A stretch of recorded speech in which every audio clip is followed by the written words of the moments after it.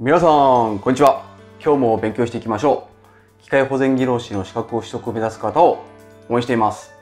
今回はですね以前リクエストをいただきおりました学科の軸のはめ合いに関する問題を解説していこうと思います。テキストの文章を読むだけではなかなか理解しづらいと思いますが図を目で見て覚えると理解しやすいので今日も頑張っていきましょう。この問題はですね級の学科の過去問で、えー、昨年度の2022年で1つ飛ばして2020年で2019、18とですねあのほぼ連続で記載されていまして1級受験者の方にとってはとても重要な問題になります。一方2級ではですねあの過去に出題がありませんので本日の動画は1級受験者向けの動画になります。まずはじめにですねはめ合いとは？を解説します。このはめ合いとはですね軸と穴の組み合わせの関係のことを言います。図で解説しますとこちら。このようにですね穴の方が軸より大きくて常に隙間ができるはめ合いのことを隙間ばめと呼びます。例えばあの工場でよく見かけるようにこの穴の方が歯車あのスプロケットになっていて軸の方がモーターから突き出ている軸だとしますとこう頻繁にですね歯車を交換したりする場合はこの隙間ばめを採用して、え、この隙間に固定のためにですねキーを打ち込んで固定をするという場合が多いと思います。一方こちら。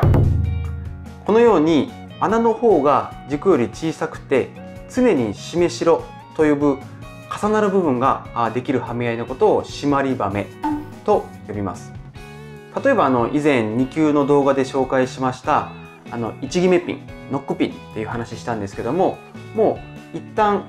所定の位置に打ち込んでしまうともう抜くことはありませんのでこの縛りばめとしてがっちり固定するとともにあの穴を入れる時にですね、えー、ちょっとテーパー加工をしてきちんとセンターが出るようなあの工夫をして作業性の向上を図ることが多いと思います。あの中間バメと呼ばれる種類もありますけどもこれはですね後ほど詳しく解説したいと思いますまた余談ですけどもこのはめ合いのことをですね違う言葉で環合とこう書いていくちょっと難しい感じですけど環合と呼ぶこともありますので豆知識として覚えておきましょうはい。えじゃあ、ここからはですね、過去の出題傾向について紹介します。冒頭でお話ししましたように、この問題は1級の過去問で2022、20年、19、18とほぼ連続で出題されてまして、昨年2022年度の過去問がこちらになります。そして2020年の過去問がこちら。それと2019年の過去問がこちら。2018年の問題はですね、過去問は紹介しませんけども、2019年の問題と順番が入れ替わってるだけで全く同じ問題です。この問題よく見てみますとですね、2022年と2020年は選択肢の順番が入れ替わってるだけで、もう全く同じ文面で、問いとしては適切でないものを選択する問題です。一方、2019年の問題は縛りばめと隙間ばめの文面が2020年以降の問題と少しだけ異なっていてこれはですね適切なものを選択する問題であるという点が確認できると思います。文言としてですね多少異なっていますけども今から解説する考え方で全ての問題に対応できますので内容を理解していただいて本番で得点につなげていただきたいというふうに思ってます。はい。それでは2022年度の問題の選択肢「あ」の縛り場めから解説します。この問題を解くポイントはこちらです。頭を整理するためにこの問題用紙のですね余白にこのような図を描いてください。そして、えー、次の理解として穴の最小用許容寸法とは穴径が最小になるとき最大許容寸法とは穴径が最大になるときということを覚えてください。これは暗記ですね。図図で書くと分かりやすいと思います。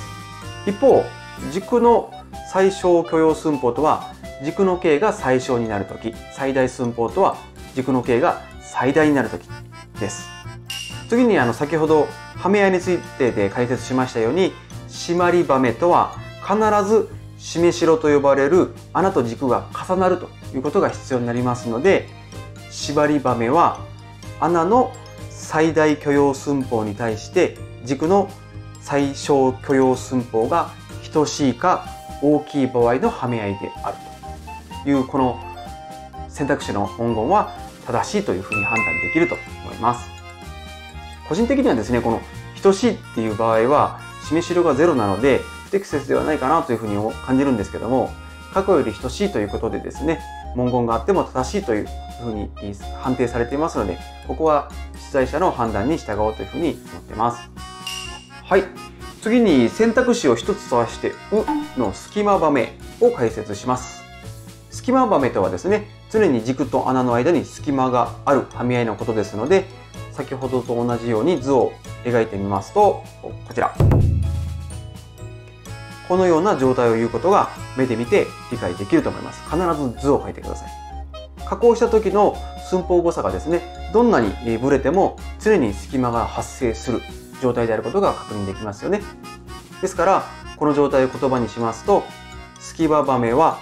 穴の最小許容寸法に対して軸の最大許容寸法が等しいか小さい場合のはみ合いであるということがこの文面も正しいということが判断できると思います。次に選択肢 A の中間場面を解説します。この図を見ていただきたいんですけども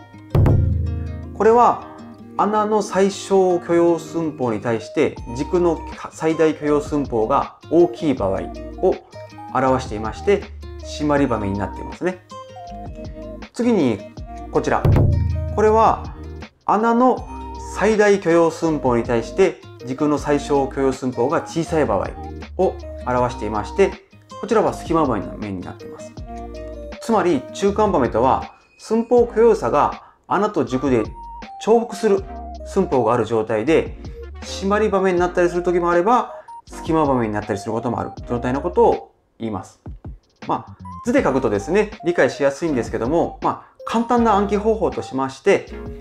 穴の最小許容寸法に対して軸の最大、小と大、穴の最大許容寸法に対して軸の最小許容寸法、大と小といった具合にですね、相反する条件が中間場面というふうに暗記しても差し支えないというふうに思います。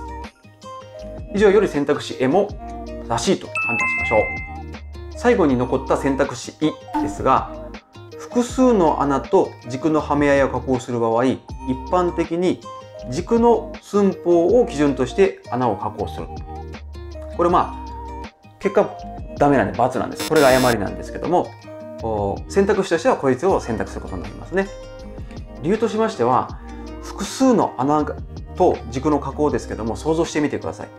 大きな広いですね。これぐらいの机の穴だったら、あの、板だったらいいんですけど、もっと広い畳より大きいような板に複数の穴が開いてるものをですね、軸の大きさに合わせて一個一個きれいに精密に穴を開けるよりも、穴の寸法に合わせて一つ一つの軸をですね、個別にきちんと加工して、旋盤で加工して、それを寸法を計測して穴に開けると。いう方がですね、作業がしやすいと思いませんか？ですので、複数の穴と時空のはめ合いは一般的に穴、板の方に開いた穴の寸法を基準として、えー、軸を加工するというふうに覚えてください。もうこれは暗記するだけですね。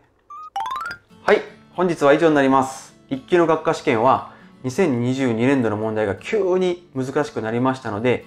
出題される可能性のある問題は完璧にしておくことを私はお勧めいたします。少し図を描くだけで簡単に理解できますのでこのはめ合いに関する問題をぜひ得点につなげてください。ちょっと投稿頻度が空いてしまいましたけども、まあ、ぼちぼちマイペースでですね受験する方を応援したいと思っております、え、質問やリクエストなどお気軽にコメントいただけたら嬉しく思います最後になりますけれどももしよろしければチャンネル登録と高評価をしていただけますと動画作成の励みになりますのでよろしくお願いします。それではまた見てください。